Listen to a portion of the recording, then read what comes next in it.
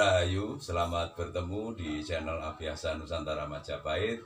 Kali ini saya ditemani oleh teman-teman spiritualis, ada Pak Aka, ada Pak Siono, dan ada Mas Nova Rahayu semuanya. Rahayu.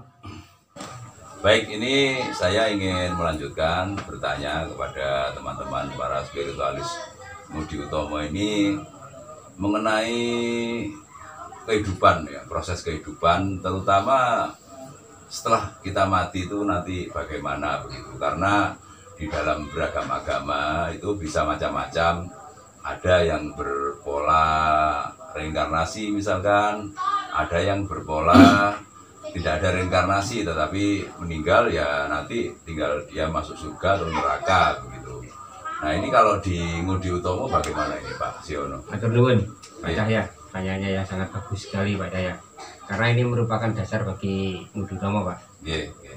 Jadi Ngudutomo itu mempercayai jalmo manusmo, manusmo manjalmo. Hmm, Jadi kalau dalam bahasa Indonesia hampir reinkarnasi Pak ya. iya. Nah, ini tergantung dari perbuatan kita Hmm, pada saat sekarang.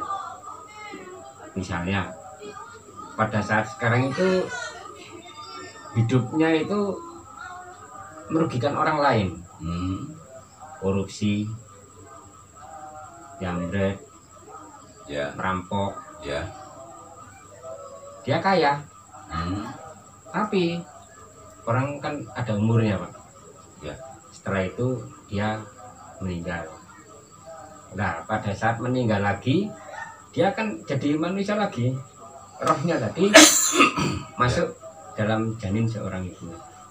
Ya dia kan hidup lagi. hmm, Nah dalam hidup berikutnya karena tadi istilahnya itu gawe nganggo nandur panen sing ora iso disingkiri dia lahir sebagai manusia baru lagi ya melekatlah apa yang dia perbuat selama hidupnya dulu hmm, cari duit susah mati nasibnya ya, ya, ya.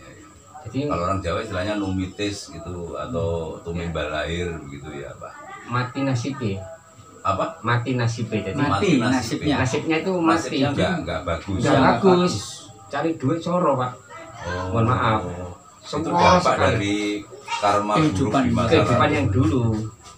Nah, kalau kehidupan misalnya dia itu pada saat hidup dulu itu dia membunuh, nyolong, nyowoi, bujuni.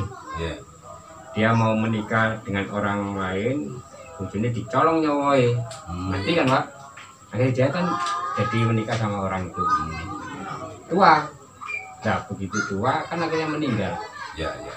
Nah, meninggal jadi orang lagi ya hidupnya serakat pak Hmm, dia sangat menderita sekali ya, ya, ya.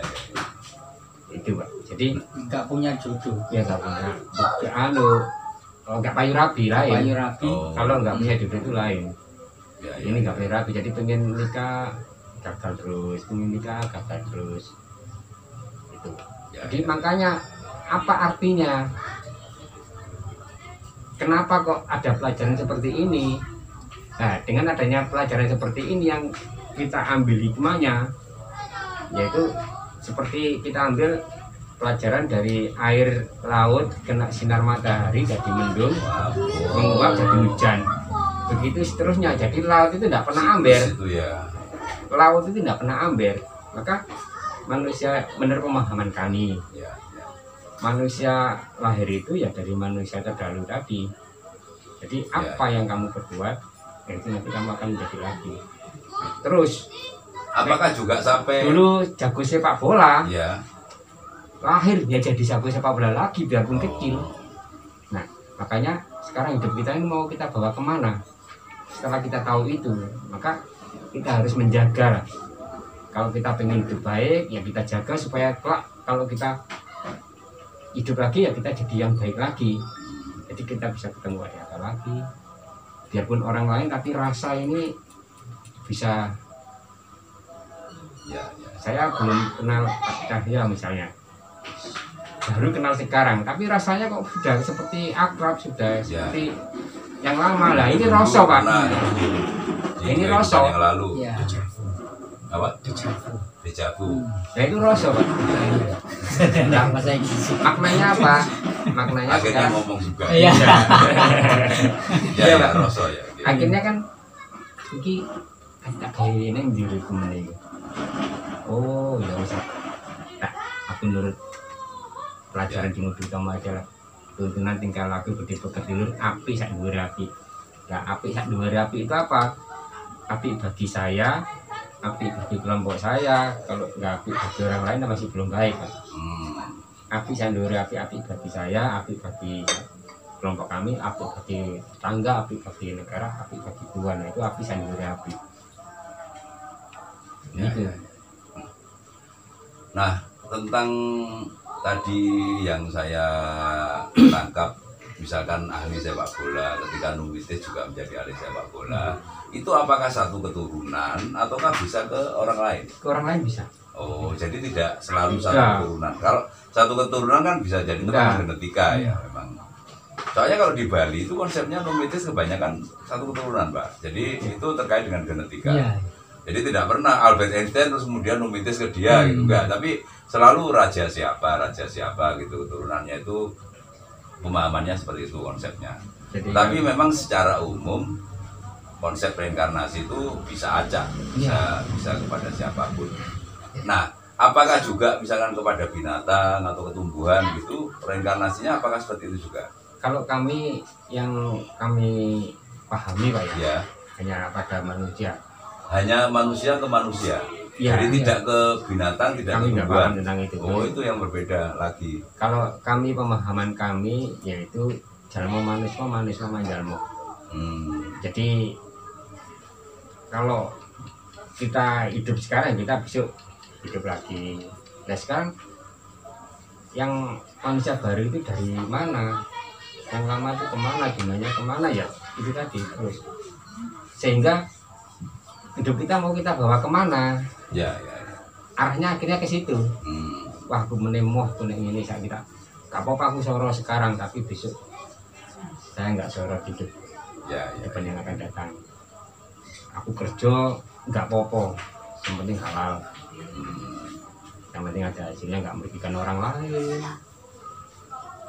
Itu tadi berarti kan misalnya saja kebetulan diri kita ini merupakan titisan orang yang pernah dulunya berbuat salah. Terus kemudian misalkan kita ini sekarang mati nasib gitu tadi iya, betul. itu yang kita lakukan ya tetap harus berbuat baik apa pun. Supaya berubah. Supaya supaya berubah. Ya itu Oh. kalau rezekinya orang tadi kalau nemu orang yang baik seperti Pak Cahya kalau dia nggak ketemu Pak Cahya ya dia mau belajar dari mana Hmm. kan itu kan masih melekat terus makanya kita bersyukur jadi kalau di Ngudu Tomo itu ada telu telu genep loro ganjil ya ya ya, ya. ya pertama kita harus mempunyai bapak yang membiayai kita sekolah Hmm. kedua kita harus mempunyai bapak yang mengajari kita membaca ABCDE jadi bapak guru. Ketiga kita harus mempunyai bapak kasepuan penasihat spiritual. Dan ini rezekinya orang kalau punya ini. Kalau orang hanya punya dua ini pada saat ada permasalahan apa tidak ada yang dijak ngomong tidak ada yang tidak cari solusi. Ini kasihan. Entah entah ini bunuh diri kasihan. Jadi orang hidup itu perlu satu tiga ini bapak tiga ini. Ya ya. Penasihat spiritual kalau dalam bahasa Indonesia atau bapak kasepuan nah ini juga harus hati-hati juga. Hmm. kalau salah pilih juga bahaya juga. Oh. nah makanya kita harus pandai-pandai gunakan rasa kita.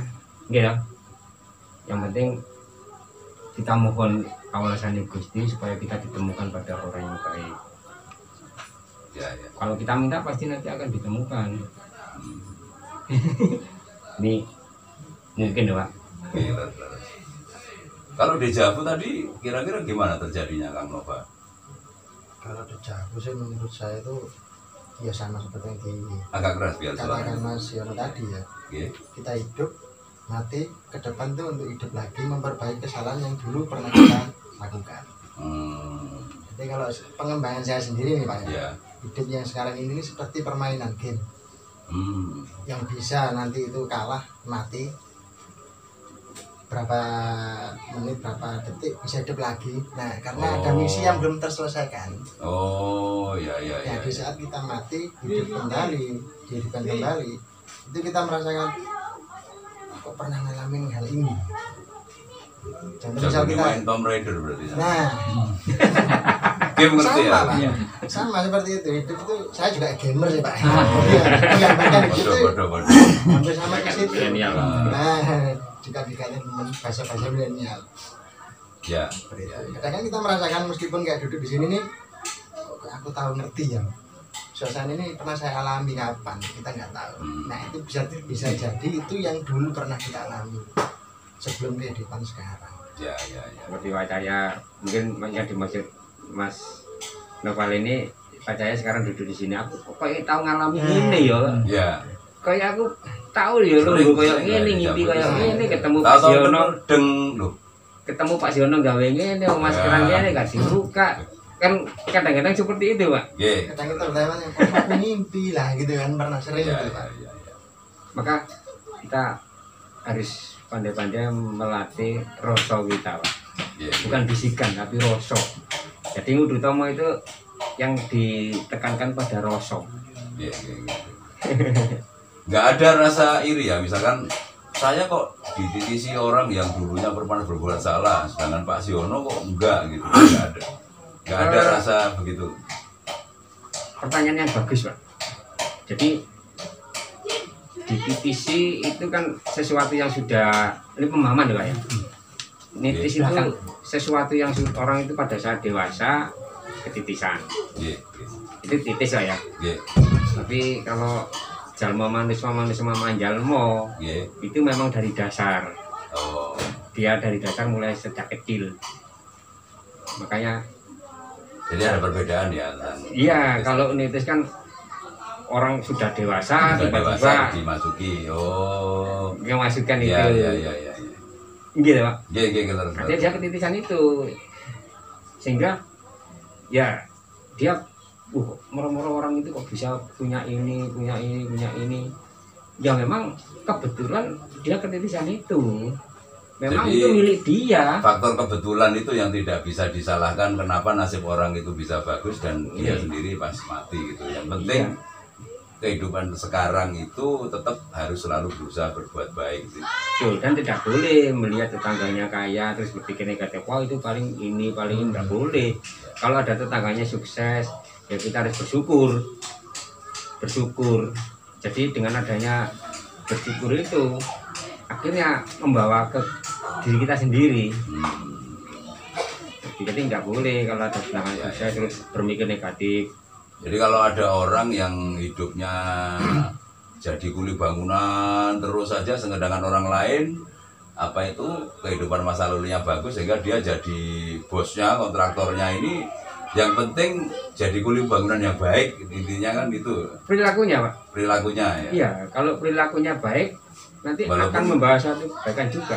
Oh, Jadi orang itu tidak bisa dipandang dari apa yang menjadi pekerjaan dia, biarpun dia itu sebagai kuli batu kata-kata. Kalau dia memang fokus di pekerjaannya, dia pun bisa menikmati itu dengan baik.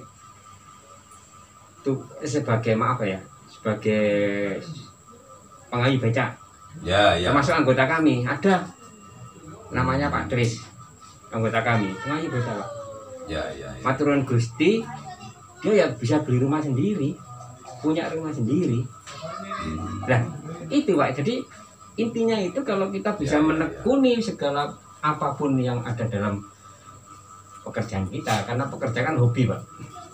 Pekerjaan itu kalau menurut Ya, ya. konsep kami itu hobi. Memang hobinya becak ya monggo ya. tidak apa Berarti tidak harus menunggu kehidupan selanjutnya dia menjadi lebih baik seperti yang tadi tukang becak itu pun juga dia ketika berusaha langsung di kehidupan berusaha. sekarang berusaha sekarang menjadi baik. Ya ya. Sehingga dia meyakini bahwa saya nanti akan baik. masalah depannya nanti akan, Akan baik. lagi. Karena di Uditomo itu kita harus mau berusaha bekerja bekerja itu. Ya ya ya.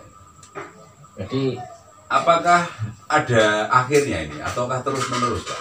Kalau di dalam ini saya contohkan aja agama Hindu di saat dia itu sudah benar-benar sangat baik sekali ya. hampir mencapai kesempurnaan ini moksa mencapai nirwana. Kalau di Mudi Utomo bagaimana? Nah, seperti saya katakan tadi Uditomo itu terus begitu ya? langsung. Jadi seperti air laut kena sinar matahari jadi mendung turun jadi hujan. Jadi ngapa air laut itu nggak pernah amber?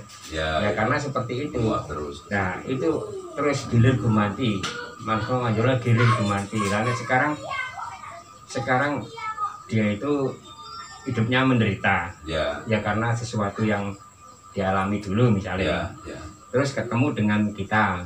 Ya. Ya kan kita kasihan. Nah karena kita sering membantu orang. Kita bantu dia kita lihat apa kok hidupnya dia kok sangat menderita sekali? Begitu kita mohon kemurahan Tuhan ada jawaban dari rasa ini. Wong iki uripe biyen niku masyarakat ini tulungan. Oh perlu ditolong. Ya akhirnya dia minta tolong ke kami. Kita berkahi kita berkahi kita berkahi kita berkahi. Dia mengerti mau berubah mau berubah mau berubah. Akhirnya dia menjadi baik dia menjadi baik nah, menjadi baik menjadi baik menjadi baik. Dia dalam kehidupan yang akan datang dia berubah. Maka Mudu Tomo itu kalau dalam pemahaman kami ini pun ngerti pak membagikan jadi karena kita kan tidak tahu sejarah dari orang tua kita kan saya tidak tahu. Orang tua saya itu gimana. Ya kan pak? Ya, ya, ya. nah dengan adanya Mudu Tomo ini kami diberi suatu ajaran tuntunan-tuntunan sehingga yang ini bisa tersaring Hmm.